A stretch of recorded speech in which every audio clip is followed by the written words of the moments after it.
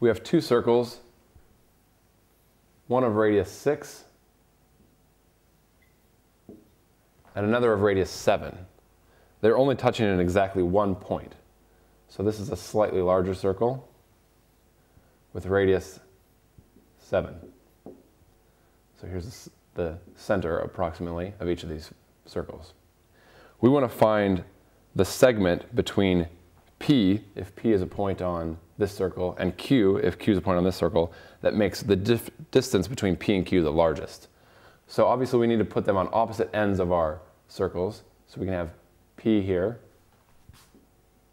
Q here, and the distance between those is just the diameter of this plus the diameter of this. So the diameter is 2 times the radius. So we have 2 times 6 plus the diameter of this one, 2 times 7, which gives us 12 plus 14, which gives us 26. So the longest distance we can have between P and Q is 26.